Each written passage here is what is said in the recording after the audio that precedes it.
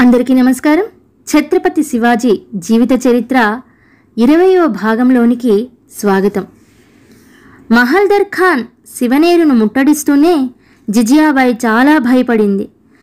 సైనికులు వచ్చి ఇల్లు కొల్లగొట్టడాన్ని చూచి ఆమె ఇంకా భయపడింది. తనను తన కుమారుణ్ణి రక్షించమని తన కులదేవత అయిన భవానీకి మొక్కుకున్నది. ఆమె నిద్రిస్తున్న శివాజీని చూసింది. అతడు గాఢంగా నిద్రిస్తున్నాడు. అతనికి భయాలు కానీ బాధలు కానీ లేవు. అతని పెదవులపైన సన్నని మందహాసం.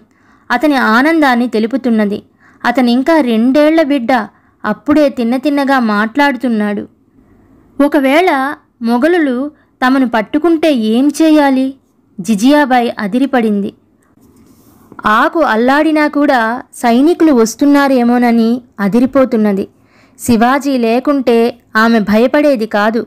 ఆమెకు ప్రాణాల మీద ఆశ అంటూ లేదు. కానీ కుమారుణ్ణి కాంచినప్పుడు అతడు ఏమవుతాడేమోనని భయం ఆమెను పట్టుకున్నది. షాహజీ యుద్ధానికి వెళ్ళాడు. మొఘలులతో యుద్ధం చేస్తున్నాడు. కొంత ఆలస్యంగానైనా వార్తలు ఆమెకు చేరుతున్నాయి. ఆ వార్తలలో నిజమెంతో అబద్ధమెంతో తెలిసేది కాదు. నిజాం షా రాజ్యానికి బేజపూర్ రాజ్యానికి మధ్య తమ జాగీరున్నది. అందువల్ల ఆ రెండు రాజ్యాలలో ఏది జరిగినా తనకు సులభంగా తెలుస్తుంది. అందులో అవి యుద్ధం రోజులు కనుక శరణార్థులు వస్తూ పోతుంటారు. వారి ద్వారా వార్తలు తెలుస్తుంటాయి. షాహజీ జయం పొందుతున్నాడని కొన్ని దినాలు అపజయం పొందుతున్నాడని కొన్ని దినాలు వార్తలు వచ్చేవి. కోట నుంచి కోటకు అతడు పారిపోతున్నాడని మరికొన్ని వార్తలుండేవి. తన పెద్ద కుమారుడు శంభాజీ కూడా తండ్రితోటే ఉండి యుద్ధ తంత్రాలు నేర్చుకుంటున్నాడని కూడా ఆమెకు తెలియవచ్చేది. కొన్ని మాసాల తరువాత బీజపూర్ నవాబు షాజహాన్తో సంధి కావించుకొని షాహజీని వదిలివేశాడన్న వదంతి వచ్చింది. అప్పుడు మాత్రం ఆమె భయపడిపోయింది. తాను వద్దన్న వినక తన భర్త ఆ నవాబు వద్ద చేరాడు. ముందుగానే చెప్పింది తను ఇలాంటి ప్రమాదాలు వస్తాయని కానీ విన్నాడు కాడతడు. ఇప్పుడు తాను అనుకున్నట్లే జరిగింది.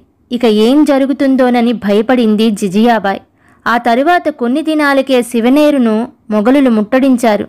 ఏం చేయాలి తాను? తనకేమీ తోచలేదు. తన కుమారుడు రాజవుతాడని దాదోజీ కొండదేవ్ చెప్పి ఉన్నాడు. అందువల్ల తమకే ప్రమాదం రాదు అనుకున్నదామె. అందువల్ల ఆమెకు ధైర్యం కలిగింది. కానీ ఆ ధైర్యం మరుక్షణంలోనే కదిలిపోయింది. ఆమె కుమారుణ్ణి తీసుకుని అక్కుకు హత్తుకున్నది. కళ్ళు మూసుకుని భవానీని ప్రార్థించింది. మరలా బిడ్డను పడక మీదనే ఉంచింది. శివాజీ నిద్రపోతూనే ఉన్నాడు. ఆమెకు కూడా నిద్ర వచ్చింది. కుమారుని ప్రక్కనే పరుండి భవానీని ప్రార్థించి గాఢంగా నిద్రపోయింది. అర్ధరాత్రి గావచ్చింది. కోట కాపలా కాస్తున్న సైనికులందరూ నిద్రించారు. వారైనా కోట ముందు భాగంలో ఉన్నారు కానీ వెనుక లేరు.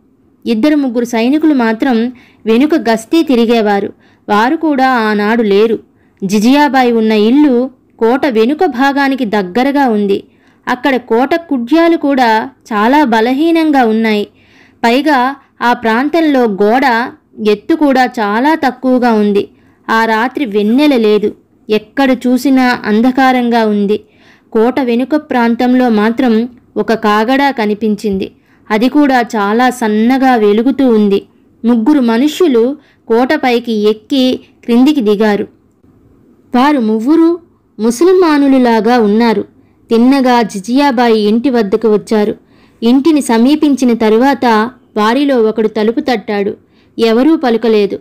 కొంత గట్టిగా తలుపు తట్టాడు. ఎవరూ పలుకలేదు. మరలా ద్వారాన్ని కొట్టసాగాడు. జిజియాబాయి లేచింది.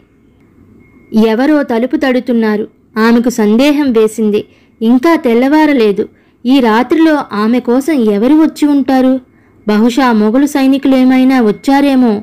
లేక వారు మరెవ్వరినైనా పంపించారేమో? ఆమెకు తలుపు తీయటం ఇష్టం లేదు. ఒకవేళ మొఘలులే అయితే తన బిడ్డ గతేమిటి? ఆమె గుండె అదిరిపోయింది. ఆదుర్దాతో బిడ్డను తీసి పెట్టె మరుగున పెట్టింది. ఎవరో తలుపులు తడుతూనే ఉన్నారు. తలుపులు తీయడమా? మానడమా? ఆమెకి ఏమీ తోచలేదు. ఆమె ధైర్యం చేసి ఎవరది? అన్నది. దాజోజీ కొండదేవునమ్మా! అన్నాడు అతడు. హాయ్ ఫ్రెండ్స్ ఇప్పుడు మీ అందరి కోసం ఒక చిన్న ప్రశ్న.